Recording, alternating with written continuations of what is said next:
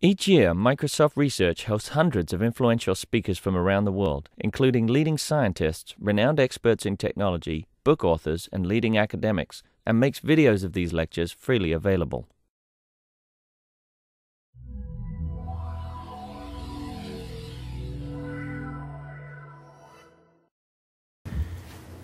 Hello, it's a pleasure to introduce Jaroslav Ševčík, um, who is visiting for two days. So you may know that um, there is a disturbing gap between classical compiler theory and concurrency, especially how to correct the compile language memory models to hardware memory models. So there are very few, despite this pretty obvious gap, there are very few people working on this, and Jaroslav is one of the undeterred researchers in this area, almost the only one, I would say. And uh, he is here today to tell us about his research. Hello. So I'll talk about compile optimizations in, in weak memory models, but it will be mostly DRF guarantee, the weak memory model, and a bit of Java. Let me, let me just introduce, introduce the problem by showing you a small example, which illustrates the problem quite nicely. So let's, let's have a look at this, this, this simple program. And the question is, if the program prints what it can print. So if you look at it, the only way the, pro the, the, program can get here is if it goes through this. So if the only way to get there is to have response ready 1. Response ready 1 is set only here. And the only way to get here is to get request ready 1. And that's set here. So actually the only part, the only interleaving that leads to printing is take this one, this one, then go here, execute all this, and then execute all this, right? So what data can, so what is data at this point? If we go this way, then the last value of data is 2. So the only thing that, that this program can output is 2, if anything. Right? That's the normal reasoning people would use. Well, now what compiler does? Well, compiler looks at the program and looks, well, print data. I know what data is. Data is 1. So just go ahead and replace this data by one. And suddenly, you change the meaning of your program, suddenly the program can print one instead of, instead of two. And GCC will happily do it, and we, on GCC you will get you will get you will print one. So this is this is really really weird, right? this is not what you expect. In GCC, if you do some you know tricks with volatile, like you label some of these variables volatile, even then it will do this. Uh, it depends what you label volatile. So if you, if you label data volatile, then it will not do it. And if you label response ready and request ready volatile, it doesn't help. It doesn't help. And it's funny that GCJ uses the same, the, the same backend. But if you label data volatile, then it, it's okay then? Then, then it's okay. That it, it, it will not. Funny, I would have expected the other way. yeah, that, that's, yeah, the other way should be correct. And that's, so it's funny that GCJ uses the same backend like the GC GCC compiler for Java. And by the Java memory model, you should declare this response ready and request ready volatile to, to make it safe. So GCJ doesn't implement the Java memory model, and it will give you weird results. Yeah, horrible. So all is weird. So what, what, what we can do about it? So either use only safe optimizations by safe meaning really optimizations that, that don't do this kind of things, so that preserve the interleaved semantics. Well, the problem with this approach, with the problem with, well, the, then you get well, in this well understood reasoning, you reason on interleaved semantics. But the problem is that you cannot reuse existing compile technology because even simple transformations like constant propagations are illegal if you want to preserve interleaved semantics. Or you have to do whole program analysis to make sure that there is no interference. Right? Well, the other approach is relax the semantics and allow the optimizations. So kind of allow this, these weird behaviors from the previous slide. And then you get efficient execution, but reasoning about programs might not be so easy. And well, it's actually not our choice, these options. Well, compile writers and hardware designers made the choice for us, and they choose the, chose the second option. So actually, we are stuck with having weird behaviors. So let, let me give a brief overview of what language specifications say. So C, C++, OCaml, and many other languages don't say anything. They just don't, don't say what concurrent program, what, what is the meaning of concurrent programs. So, so it's hard to say what is allowed and what's not. Probably these weird behaviors are allowed. In Java, they, they actually specified a weaker memory model, and but, but it's still a bit wrong. And I will not talk about it, but I will show you what, what optimizations are legal and illegal in the Java memory model. So Java memory model actually allows you allows you to give this to get these weird behaviors if your program is has data races, but if your if its data is free, then you don't get these weird behaviors. But I will talk more, a bit more later about this. So what, what, what processors say? Well, processors also allow weird behaviors. Uh, and the specifications are informal, and we can say now that they are often even wrong. So there is a research, lately there has been research from Peter Sewell, and he showed that x86 memory model, like the specification of x86 processor, was wrong and unsound with respect to implementations. PowerPC is unsound with respect to implementation, so it's actually hard to say which processor is right in, with respect to its specification. But interleaving can be enforced using special instructions on these, on these processors. Uh, sequential consistency, interleaved semantics, yeah. But for example, on PowerPC, it's not very clear how. So it's still open question whether the specifications somehow say what they should say. Uh, clear. So on PowerPC, it's not known whether you can actually get sequential consistency even if you put a fence in between every instruction. So it's not known in the specification. In implementation, actually, Peter Stoll and his group has an example, have, a, have an example where they have a program that insert memory barriers, like these instructions, all over the place, and still don't get interleaved semantics. Really worrying, really worrying. And in like in one, one in 10 millions executions, they get weird execution.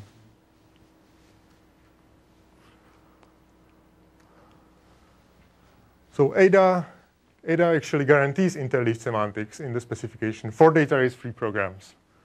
Uh, so that's a bit similar to Java. And the same thing seems to be being adopted in the new version of C++ specification. And .NET also allows non-interleaved executions in like eh, non-sequentially consistent executions in the specification. But the, specific, the, the, the, specification is so informal, it's really hard to make sense what, what are the guarantees in that model. And in practice, when I, test, when I played with the compiler, it's actually very conservative, it, and it won't optimize almost any memory accesses to shared memory.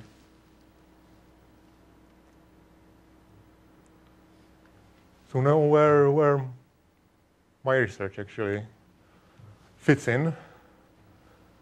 So as, as, we, as we saw in the first slide, the, the memory models are, are, are motivated by optimization. So you want to do more optimizations. You, you, want, you want to have more efficient execution while having, still having kind of reasonable memory model or reasonable reasoning about executions.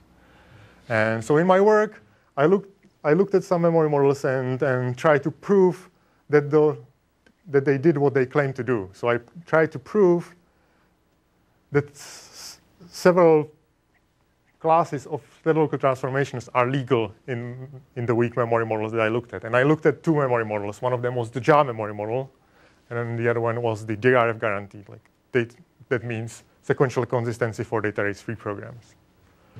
And this talk will be about this second part, although I will give a brief overview of, of, this, of these results. So let me first say what's the DRF guarantee. So as I said, program is DRF safe, the transformation is DRF safe if it doesn't introduce any behaviors for data race free programs. And here it's spelled out in detail. And what's, what's, what we should take from this spelling out in detail is that safe transformations can reduce behaviors. They, they shouldn't introduce new behaviors, but they can reduce behaviors. So first, let me let me give give an example of the transformations that I that I that I considered. So I looked at trace preserving transformations. So let's, let's have a look at this transformation that transforms this big if then else statement into this small. And let me say that R is always register.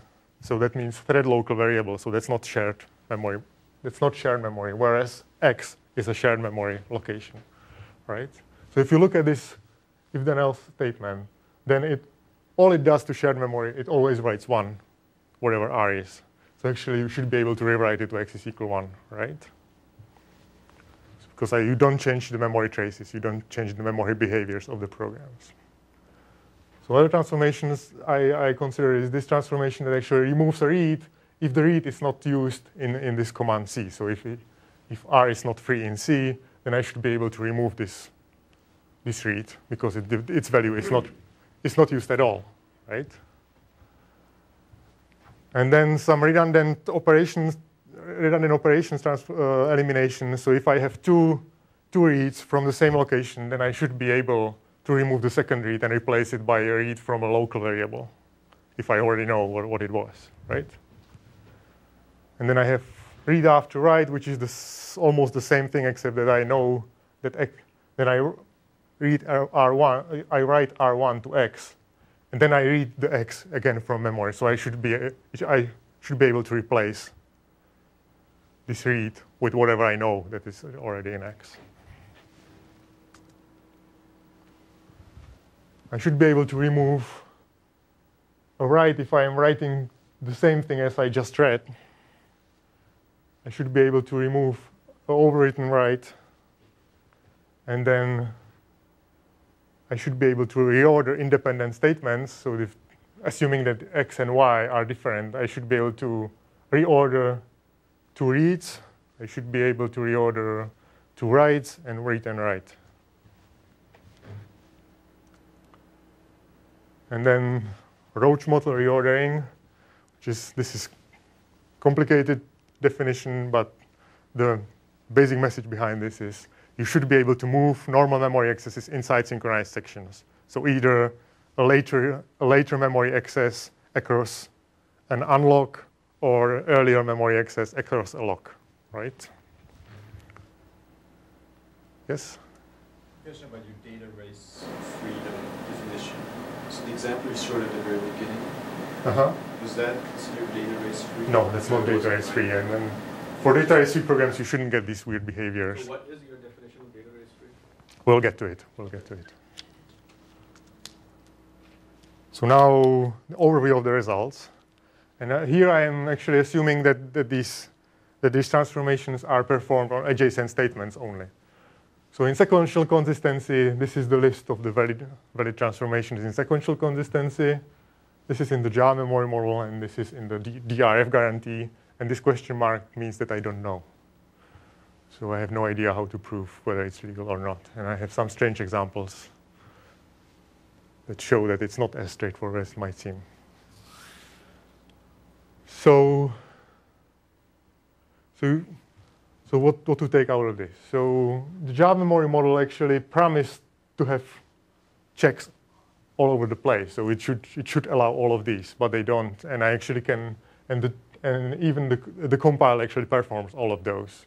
So the so Sun's compile of, of Java is not sound with respect to specification. They, they do optimizations, and you can actually see behaviors that are disallowed by the Java specification. Uh, I have a question. What does a tick mark mean formally? So tick mark means that I have a proof of this transformation to be legal in that in that memory model. The, the definition of legal means that that it doesn't introduce new behavior. And what is a behavior? Behavior, in my in my view, is just that.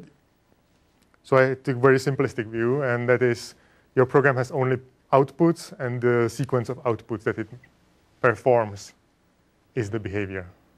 So, uh, so the, so the set, would set be the final values of uh, shared variables? No, there would be, imagine you have, speci uh, you have print statements in your program, and it's the sequence of the prints that it can, it can produce, or the sequence, all possible sequences of prints that it can perform. I see. So it's actually a very tough system. What you say is that, so a transformation is independent of the input program. So for it to be safe means that there exists no input program, no matter how many prints I put there, in which uh, I'll be able to distinguish uh, the old program from the new program. The prints will always be the same. Is Yeah. that, that that's roughly what you proved? One, one, once again, so Do I you have a proved. formalization? Set of traces. What do you mean formalization? Like in Are you going to present a formal semantic model later? In yeah. which you do these proofs? Well, I will not do the proofs here. Okay, but let's- I will- No, no, no, I I'll, mean, I'll give the statements and I will make it more clear. Okay, I mean, we should wait. Yeah, we Yeah. will do it. Yeah. And I have a formalization in theorem prover. But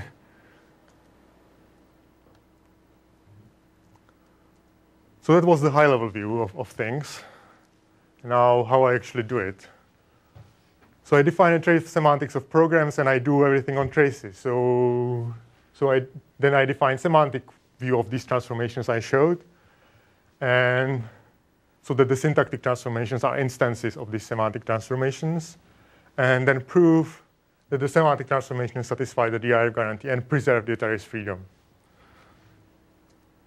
So, you know, your, my view is you have your starting program P1 and you kind of do a series of transformations into some program Pn. And what you really want to prove is that the behaviors of the original program are superset of the behaviors of the final program. And you do it step by step and you prove so you start with your data race free program and you have to prove that you preserve the data race freedom on the semantics. You have to prove that your syntactic transformations somehow correspond to the semantic transformations and the semantic transformations somehow imply conservativity in behaviors, right? So this is what I have done, all these proofs, and I'll just sketch how to, so uh, what I sketch in this talk is how to define the semantic transformations and somehow high, high level idea how to prove this, this bit and this bit. I have a question. So you're saying you pre- preserve the DRF property as you go along? Yeah. Um, I remember that people made some distinctions sometimes, like in the C++ memory model, it was said that, you know, after, if you do source-to-source transformation, yes, you have to prefer, preserve DRF guarantees, but inside the compiler, you're actually allowed to insert, in, you know, create data races if they won't impact the program negatively. Like you could introduce an irrelevant read. It's actually not, not very clear whether it's legal or not. So I try, yeah, I would love to prove it. Uh, um, but but it, I, have, I have weird examples that show that, that for example, irrelevant reads don't, don't play well with other transformations that are safe in the DRF guarantee. So I, we might get to it at the end of the talk. So it's, yeah, it would be lovely to have this guarantee even if you don't have this invariant and maybe have some weaker invariant than the, uh, the, the, the data race freedom, but I don't know how to do it. I, I tried.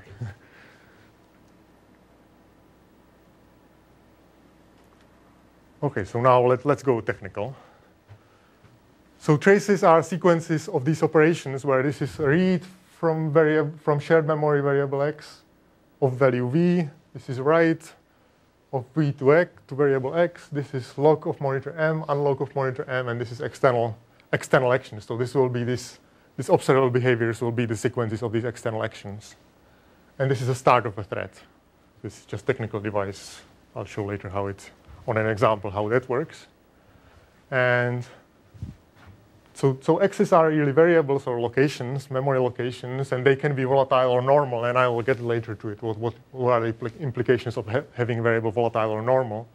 V are values, M are monitors, and E is actually an entry point of a program. And for, for simplicity, I'll just identify it with the thread identifier, and we'll see later how it actually plays. And we'll see later an example how, that shows how to use it. So what I assume, so in my view, actually, programs are just sets of traces, right? And I have some, I have some assumptions on these programs. They have to be prefix closed. They have to be properly started. That means that the start action is really start. It has, it has to be first. And properly unlocked, that means that you don't, on each monitor, you don't have, you, you don't unlock it more, more times than you locked it. So obvious assumptions.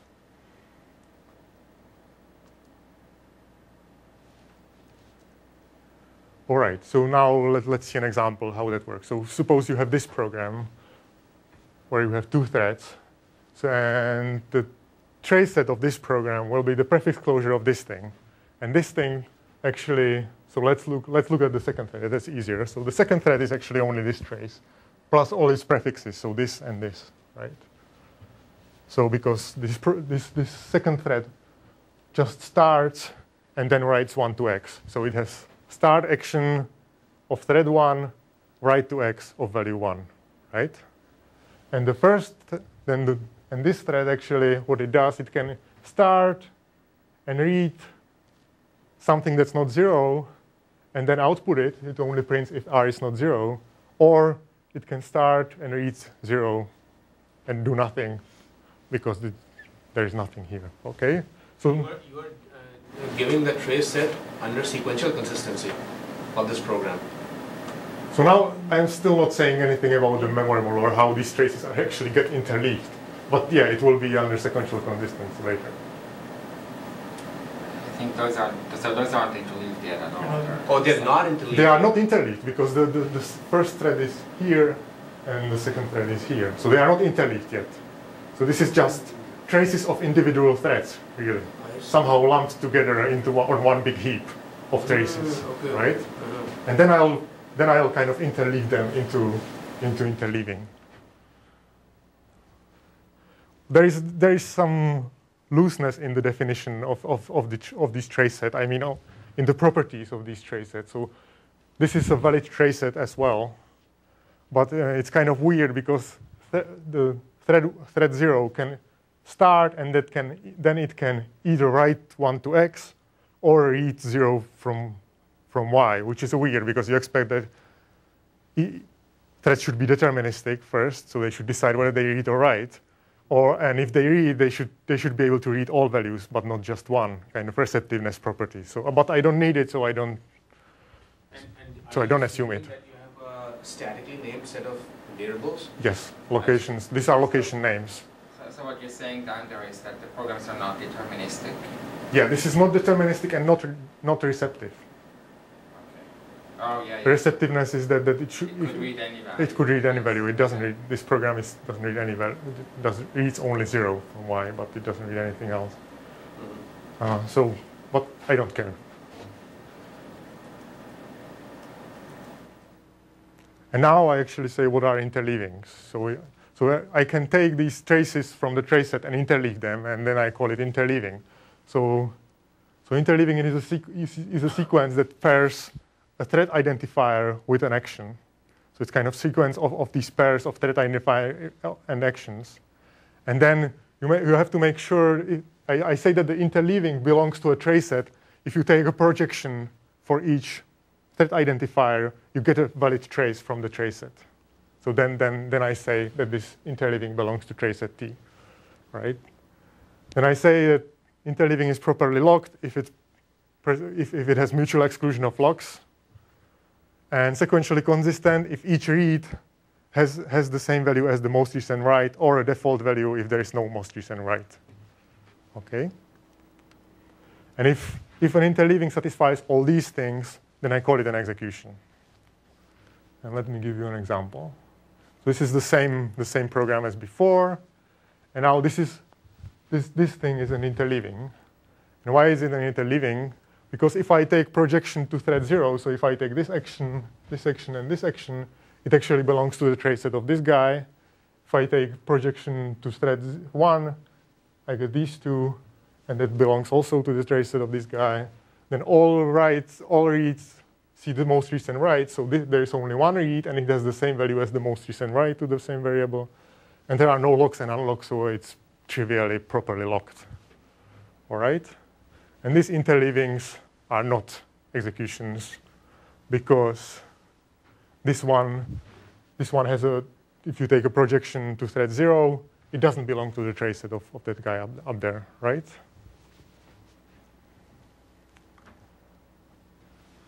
And the second one, because it, it's, not, it's not properly started, so I require also that, that the thread identifier must, must correspond to the to an entry point of the thread, which is not the case here. Okay, so now we, were, now we know what, what executions are. And now definition of data race. So data race, interleaving has a data race if, if there are two adjacent actions And these actions are memory accesses to the same non-volatile location.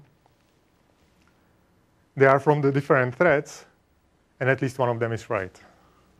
All right, so give me, a, this, this is an example of, of an interleaving, which is a data race because I have these two adjacent actions. They are on the same location. One of the, at least one of them is right. They are from different threads. So that's kind of what you would expect. Oh, yes? Why do they have to be adjacent? So you kind of want to say that data race, data race is a situation where two threads can access the same location at the same time. There could be like thread two, there could be some other thread in the middle. In- in between, right? Unrelated action, right? And then it would still be a race. In my view. Yeah, so, so some people actually know this happens before definition of data race, where actually you say that there are two actions such that they are not related by happens before. And you can show that this definition is equivalent to that one. So if, if there is something in between, you can still move, move these things across it. You're and make- be another interleaving where they are. Yes. Yeah, there will be another interleaving where there are this data is in this sense. Well, I'm kind of curious. Earlier, you never mentioned this business about volatile variables. You only had locks and unlocks. This is the first slide where you started talking no, about. No, no, no, there was, there was something. Yeah, this definition. You you Yeah. have. X are locations, and locations can be volatile or non. This is the first place where volatile actually appears. So these writes and reads are actually can be volatile or non-volatile.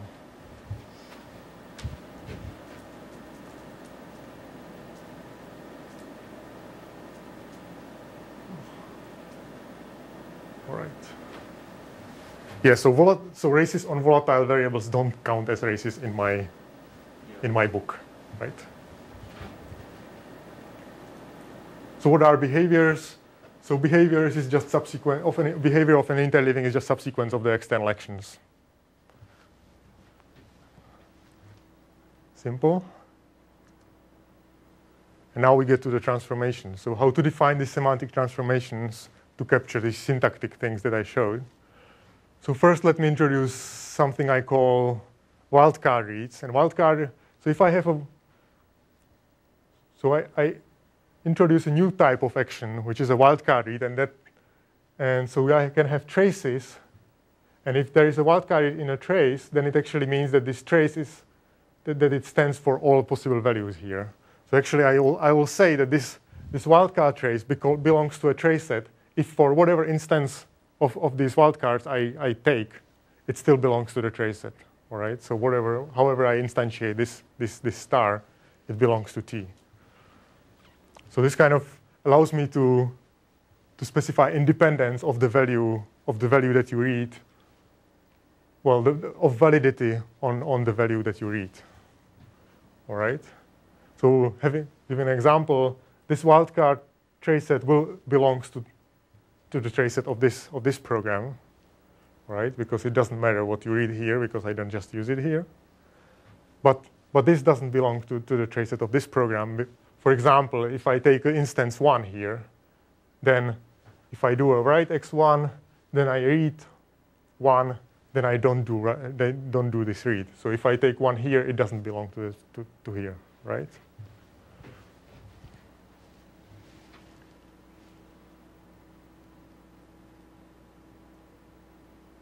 So this will be useful for the irrelevant reads, the kind of how to how to specify that I can remove a read.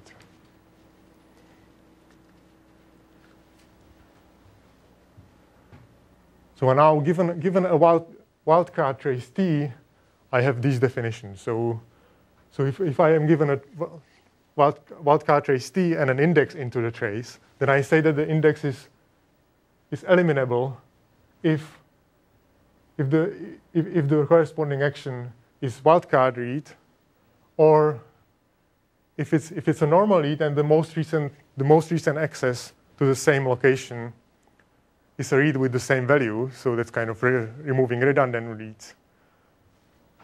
Then this is for overwritten writes, and this is for redundant writes. And I'll show you an example so that it's more clear what I'm talking about here, because this is difficult to read and understand. So let me give an example here. So I have this trace, and now the blue actions are eliminable. And why they are eliminable? This one is eliminable because it's a wildcard read, so it's irrelevant read. This one is eliminable because it's redundant read, because there is a previous write of the same with the same value. The same would the same the same thing would be it would be eliminable even if there was previous read of the same value. And this one is eliminable because it's overwritten. It's overwritten by this write. Right? And kind of the idea is that I should be able to eliminate to remove the, all the eliminable actions.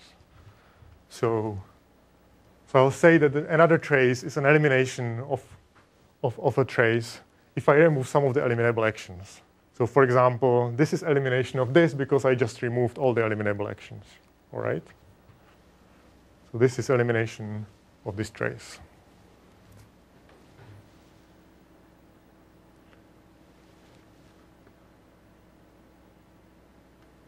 And now I lift it to the trace set to programs. If, if I have a program such that all traces of the program are eliminations of some trace from the original program, then I say that this, this program is an elimination of this program.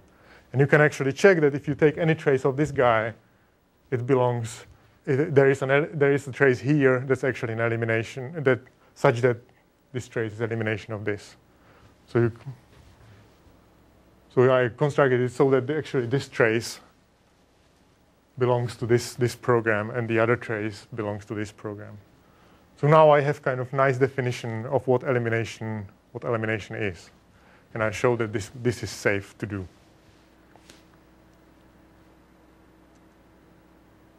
So now let's shift our attention to reordering. This is a standard table that you find on Doug Lea's cookbook, which shows that which actions are reorderable. Kind of you want to specify in a trace what is possible to reorder. And I say that action A is reorderable with action B if there is a check mark here in the table. So for example, read is always reorderable with other read. Write is reorderable with other write. But acquire is not re reorderable with write, right? So you, how can a write be reorderable with an acquire? It's write reorderable with acquire that means that you are moving things inside the synchronized section. So that's kind of this roach motel okay, reordering. The idea is that A occurs before B. Yeah. And you can all. So if you have, you're asking whether it can be moved after. They can, yeah. They, whether I can swap them, kind of. All right. So this table say, says when I can swap A and B, if, if they are in order A and B, whether I can swap them to B, B A. So having this table in mind, now you can def define what it means on traces. So I want to say that this, so what I would, I would like, what I like to see is that I can reorder this thing to this thing because I just swapped these two statements. And I say that it, and I'll, I'll be able to say that this is, this is a reordering of this if there is a function actually that doesn't violate this reorderable constant. So whenever the function swaps two actions, they have to be reorderable in the original in the original trace. All right, that's what this says. So this. I'm still confused about what observable things are. My understanding is that to make something observable, you have to explicitly print it. There's mm -hmm. this notion of external actions. Yes. Now, if I let's say that I have some random Java program, how will I identify what are the actions that are actually observables or are printing stuff? Do you mean that there will be actually like calls to system.writeLine or something? Yeah, or you know any output input output thing. So kind of it's simplification really because I didn't consider input at all. But it's all the interaction on interactions of the program with the outside with the outside world is observable. But I mean I don't I don't understand don't buy this actually because imagine that I have a module, right? I implement some concurrent data structure right? Uh -huh. It's just messing around with some memory, right? When I'm compiling it, I don't, I mean, there is no input output going on inside it. I'm not printing anything out. Yes. So in that case, because I'm not printing anything out, does that mean that all hell can break loose and you can start like uh, ordering, reordering stuff? But, I mean, well, you don't see it, so you don't. behavior, then the compiler can replace it with a skip, right? Yeah, I mean, but it, it does have observable behavior because you know you call something Yeah, and then then it you have an returns a value. yeah, But then that caller has an external, Yeah. observable action, right? And then your program all of a matters. I mean, but I mean, there's this business about separate compilation, right? I think I think you're headed for like a modular way of doing this reasoning, which this is arguing about the entire program as a total thing. Yes. It's is not a modular. I see. So it's kind of it works on the whole traces, like of the whole program, not not just you know data structures or something.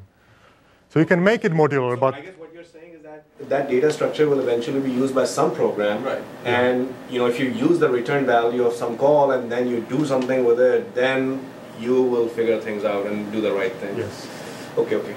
you can actually make Thank it you. even modular on, but it's it's more work. So, all right. So this is how I define na- naive reordering. So naive reordering only reorders reorderable actions, and there is a function that actually shows how to reorder these things. So there is a permutation. All right. And in and again, I, I lifted to trace set by, by just saying that trace set is any reordering of another trace set if for any trace of the transform program there is a trace of the original program such that it's reordering by some reordering function that's legal. So really what would you, what you would expect. Uh, so while this definition seems reasonable for, for, this, for this trace, it's a bit, bit tricky to apply it. So suppose, let me give you an example. So suppose that I want to reorder these two things. Uh, they kind of want to swap these two statements, all right? And so the trace set of this of these two statements is is this because it has to be prefix closed. So there is the, big trace, then the, and then all prefixes. And the trace set of this guy is actually these two plus the prefix plus the prefix of the write y plus the empty prefix. So this two, this is easy to reorder. I just I just swap swap these two. So a kind of the reordering function would be map this to this and map this to this, and these are reorderable actions. Everything is fine. This is easy to reorder as well. There is trivial reordering, empty function. This is not easy to reorder because I I, I cannot find any, anything here, right? So how to get out of this? Well, notice that actually I can I can get this, I can get the write from here by removing this irrelevant this irrelevant read. Okay, so I can do irrelevant read elimination first, and this way I will get this right. So kind of, I'll have to do the syntactic reordering in two steps. First, I eliminate some irrelevant reads, and then I do the reordering. All right.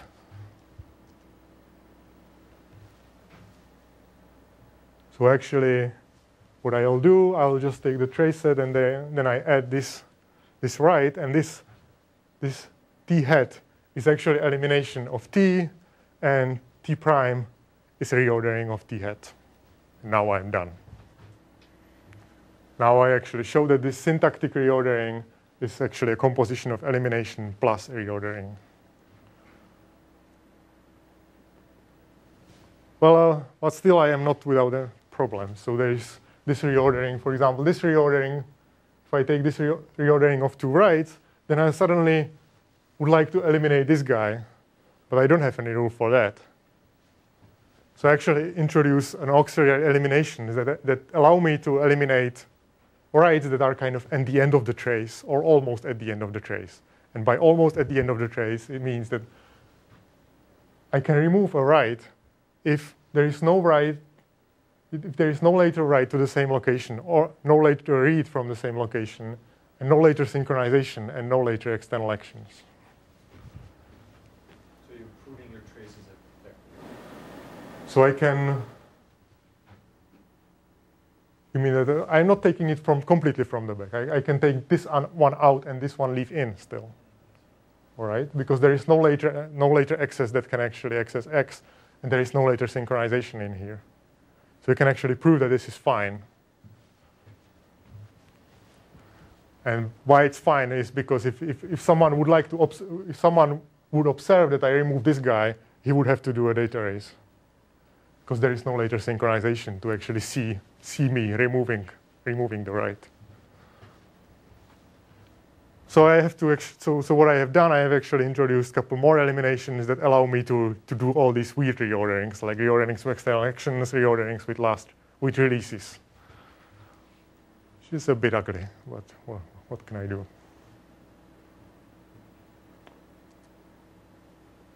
Okay, so now the theorem. Now the theorem is that if I have a trace set that's elimination of another trace set, and the original trace set was data race free, then the new trace set is also data race free, and for any execution, and any execution of t prime, there is an execution of t with the same behavior. So, so I don't, I don't introduce new behaviors. And how the proof goes? Well, the plan is quite easy. So you, so you are, so I take the execution of the transform program, decompose it into threads, then do the untransformations kind of because I know that oh, I know that every thread was eliminated from some, from some thread of the original program. So I do the unelimination, and then I compose all, all this together. So something like this. So I am given a, a trace of the transform program. I decompose it into threads. I do the unelimin so I kind of do the uneliminations on each of these threads, and I compose it together. And the rule is that I cannot change order of synchronization. So the order of synchronization in these has to be the same. And if I'm introducing any new synchronization, it has to go to the back. And if you do it this way, you can actually prove that this guy is sequentially consistent. And this is in the heart of the proof, but it's pretty technical to, to get to get this right. And I have Isabelle proof of, of, of this thing, which is like 10,000 lines of Isabelle code.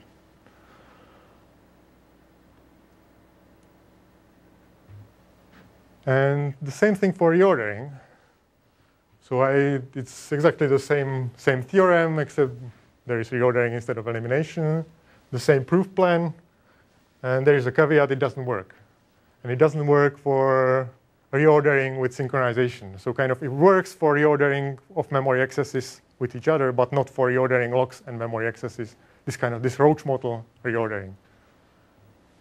And the reasons are pretty subtle. So I have a I have a counterexample why it doesn't work, and it's not very enlightening why it doesn't work. But I have a fix how to make it work. And so what I need, so I, what I need here is actually that if you have a, let me give you,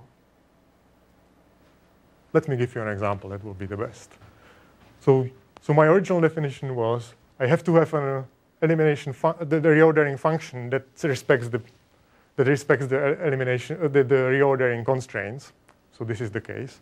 And now I impose a new condition that actually says that whenever I, whenever I take the trace of the, of the transform program and cut it somewhere and restrict the permutation to this prefix, then this, this resulting thing here must be also, must be also in the trace, of, trace set of the original program. So what I say, so what I require is not only that I have a function that reorders this trace to this trace, but I but for whatever restriction, so if I restrict here, this trace must be or in the original program as well, if I restrict the function to the prefix. And this must be there, this trace must be there, and this trace must be there. And the intuition for this is just technical device to make the induction fly somehow. And, but it works for, it works for the syntactic example I have seen.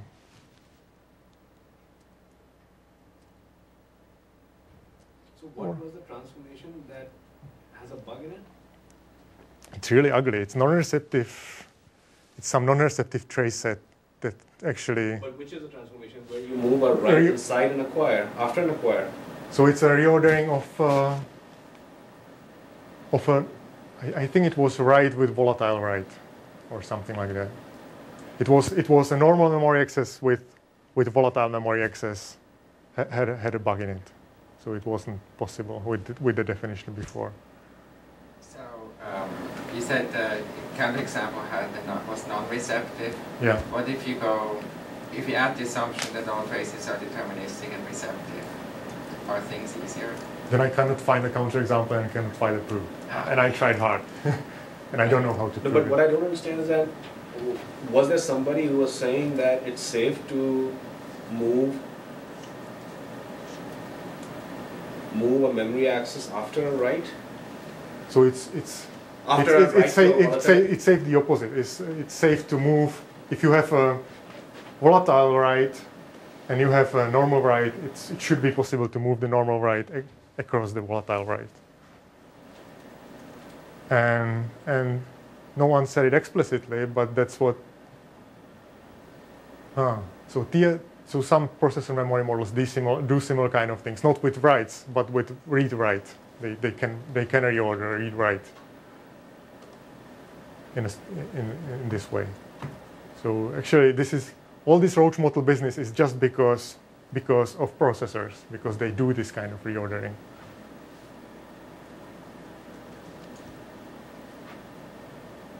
Well, anyway, this just complicates the proof immensely. But now, now with this fix, it actually works. So with this fix, I, I get I get this I get this theorem right, and now now it works.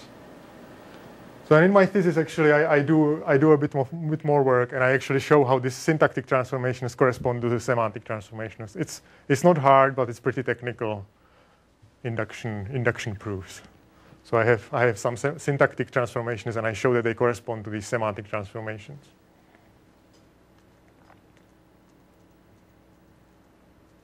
All right. So now the thing with DRF guarantee is that if your program has data races, then it doesn't say anything, right? You don't know anything. But I would still like to prove that if, you, if I do these simple transformations, it somehow, somehow seem obvious that it, they shouldn't, that there should still be some limit on what they can do. For example, what I want, wouldn't like to, to see is that if I have this kind of program where x and y are zero in the beginning, then this print shouldn't print anything else than zero because there is no other value than zero in this program. So I shouldn't print anything else than zero, right? So this is motivate, one of the motivating examples for the Java memory model. What they wouldn't like to see is this program to output something strange, all right? So now the question is how to prove that, that you don't do anything like this. And, I, and it turns out that it's quite simple, actually. So I say that a trace set cannot create value v if there is no trace in the trace set such that it would contain it would write v or print v without reading it first. So kind of it cannot create it if, if, if, if you always have to read it first. All right? And it turns out that all the transformations preserve this. And if all the transformations preserve this, then actually it's easy to see that you cannot, if you, if you print if you print value, then there must be some origin for it. So, so that's easy.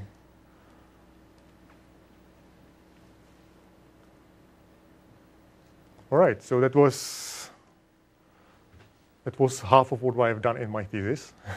the other half was this Java memory model bit. And yeah.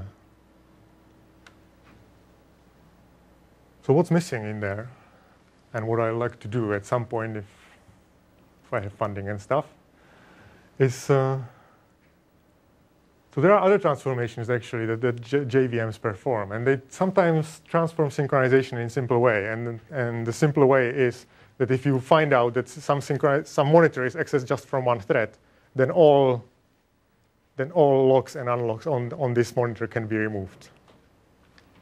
Right.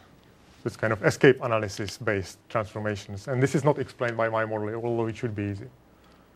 And then I would like to do this irrelevant read introduction, but that's not very easy because there are some weird examples which I might show if, I, if you are interested. And the bad thing about this DR, data race freedom is that it's not compositional. Like it's you, you make one little data race somewhere and you don't know what your program does. That, that's pretty bad. So it would be nice to get some, some, some way to isolate, isolate yourself from data races. So kind of if I do enough volatile accesses or whatever, I should be able to call libraries and still get predictable behavior, even though the libraries do may, might do weird things, might do data races. So some, some, something compositional would be nice.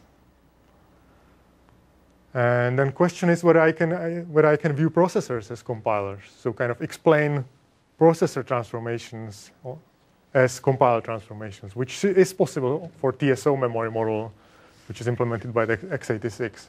But some more esoteric memory models like Itanium and, and things might be quite hard actually. When uh, you say be viewed as compilers, do you mean compilers acting on source code, or do you mean compilers acting in the way that you describe with transformation on trace sets? Transformation on trace sets, yeah. Yeah, and the, the really, what I really don't like about this work is that it, it's kind of safety property proving. So I proved that if your original program didn't launch a, couldn't launch a missile, then the new program does, cannot launch a missile. But if your original program always launches a missile, then I don't say anything about the about the new program because I only say that I can I don't introduce new behaviors, but I should preserve some behaviors. And that's I have an idea how to do it, but it's still work in progress. And the same with proof mechanization. I have proof of elimination in Isabelle, but I don't have it. I don't have reordering, and I don't have the syntax semantics correspondence. I have it on, only on paper in the thesis. All right. Yeah, this is for masochist, the counterexample for the naive reordering. The non-receptive counterexample, which is really weird. All right.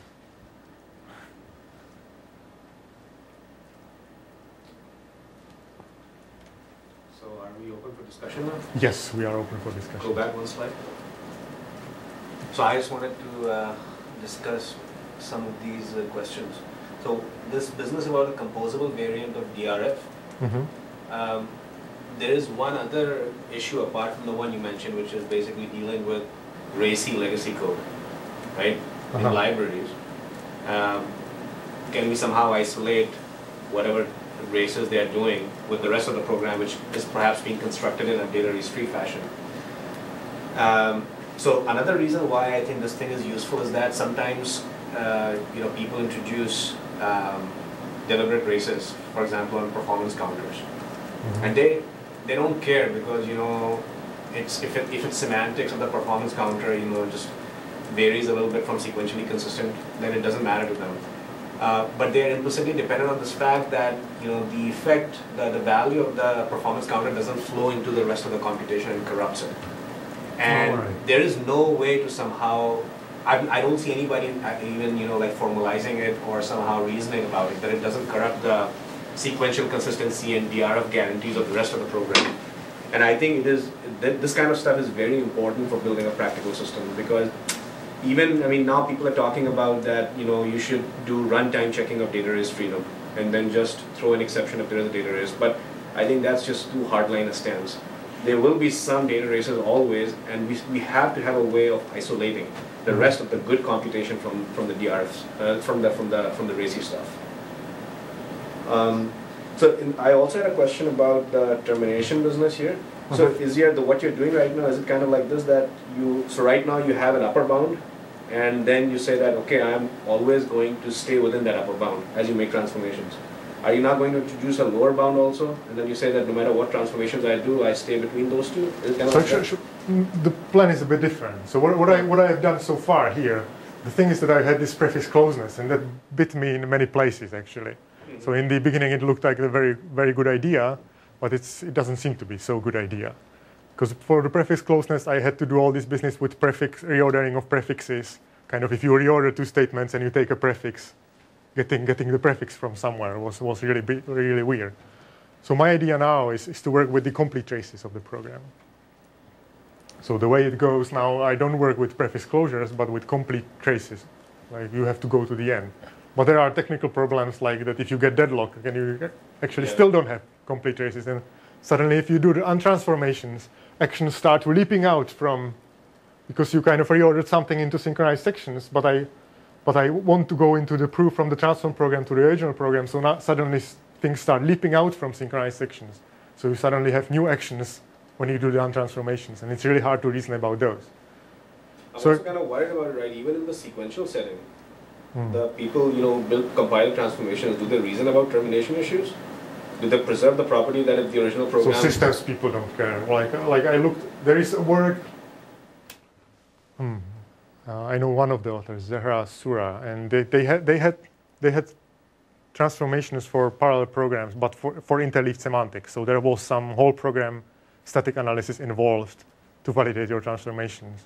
And their framework was basically, the setup was basically the same as mine. So external actions, and they don't care about termination at all. So the same notion of behaviors and the same notion of conservativity in behaviors. So it seems that people don't do it much.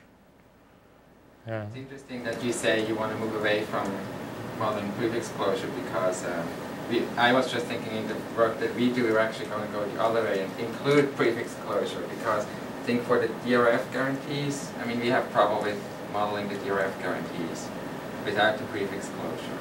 Mm. But uh, we do have termination, we can model termination. So I actually have the proofs with the complete traces as well on paper, uh, but uh, I don't have Roach motel reordering because I just don't know how to do this leaping things of, of synchronized out from synchronized sections. I don't know how to do it. It seems that it should work, but yeah. And then there is this strange example with irrelevant reads, which so in the DRF, so if, if you are interested, and in the DRF guarantee, it's, it's, it's legal. So it wasn't included in my transformations, but it is legal to remove this read. So kind of I, if I do a previous read of x, and there is even the, even if there is lock in between, and I do another read of the same of the same x, I can actually remove the read of x and replace it by the local variable. You can prove that this is legal in the DRF guarantee. So compiles that compile for the DRF guarantee should be able to do it, right? But suddenly, if you combine this with irrelevant reads, you can suddenly make things leap out out of synchronized sections. So, so kind of I have this read, read of x, I introduce irrelevant read, I suddenly remove it from here, and suddenly I am reading, instead of in inside synchronized sections, I am reading outside synchronized sections. So you can make it into complete examples that shows that this, this doesn't satisfy the DRF guarantee. If you allow this, if you allow this reordering plus irrelevant read introduction, you don't get DRF guarantee. But each each of them on its own is legal. So it's not compositional. That's, that's the message from it. And so in your original proof strategy, the way you were setting it up is that you can apply any transformation, and it is sound. So for so you, your your proof probably does not work for one of those transformations, right? It doesn't work for the. So the problem is that my invariant is data is freedom, and irrelevant in introduction can introduce ah, irrelevant. Yes, that's why it doesn't work. Okay, yeah, good. that's why it doesn't work. Have you, have you thought about the problem of looking at source code level transformation and applying this?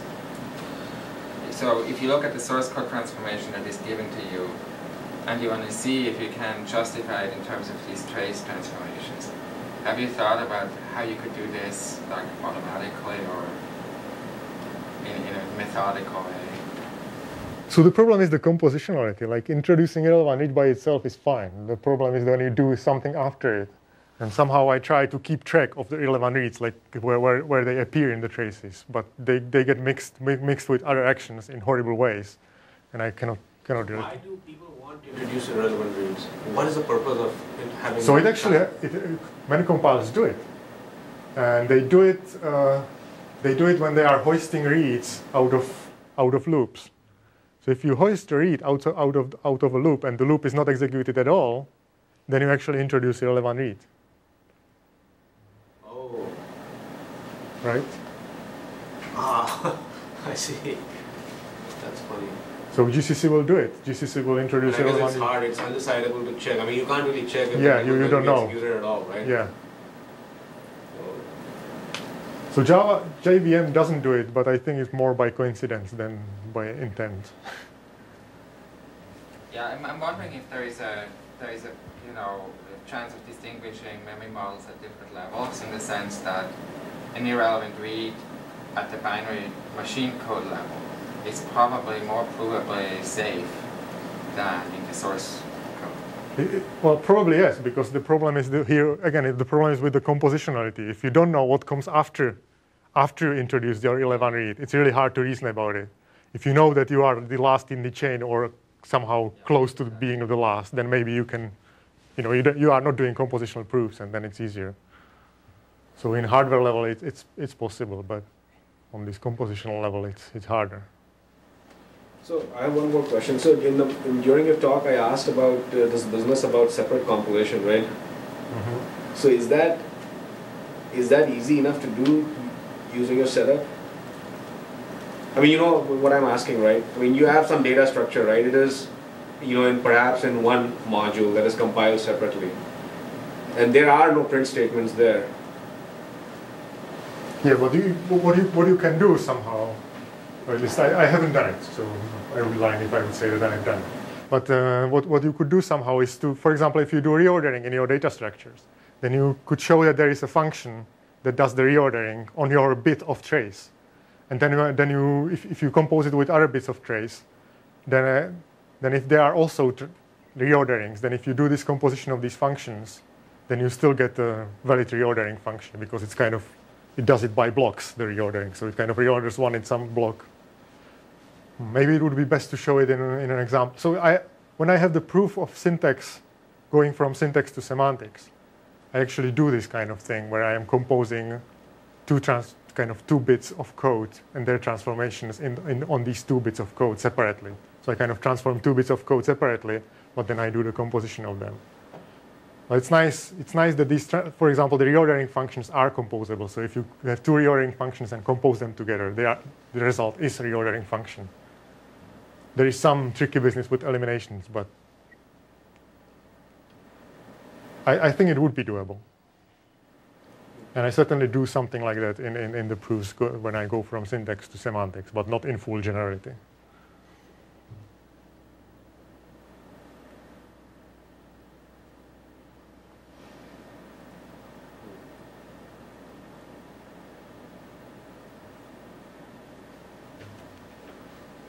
All right. Any more questions?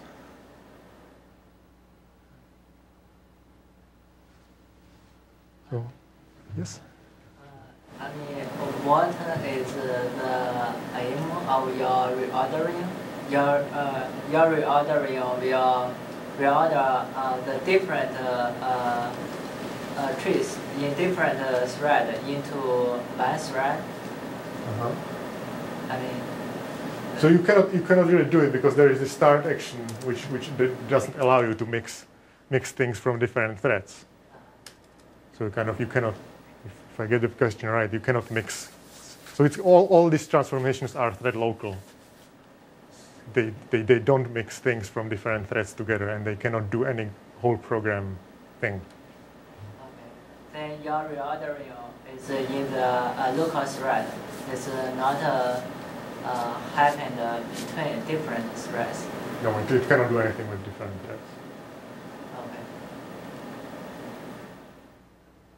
Then do you think it is possible to? Well, speculatively it is possible, but I don't know any of any compiler or hardware or anything that could do it. So. Yeah, so, so we have our model had models the hardware behavior of doing optimizations across threads. So the, the, exam, uh, the visualization of why that would happen is if you have a non-uniform memory system where some processes are closer together, so say you have two processes that share a cache, then you know you can you can express the, the forwarding of a store from one of these processes to a load of another one of those processes as a cross-processor optimization. That is, but that's still local relative to the larger composition of the so I had, so this, yeah. So, so I tried actually to think about hierarchical caches and how they would work with this, this work. And as it is, it doesn't work. But I have some simple relaxation somewhere that actually makes it work and makes the proof still fly. So uh, and still still do it locally, but it's just playing games. Tell us a little bit about? You said you had the proof formalized Can you tell us a little bit about what the setup is of that formal formalized proof? So it's, it's just what, what you saw with this. So I define the traces, I define the trace trace sets, interleaving executions, and then define the eliminations and prove that the eliminations really satisfy the DRF guarantee. So that's what the proof says. And I also have the proof of the correspondence of the data race free definitions. So that if you define it in terms of happens before or adjacent actions, it's the same thing. So I have the proof in Isabelle as well.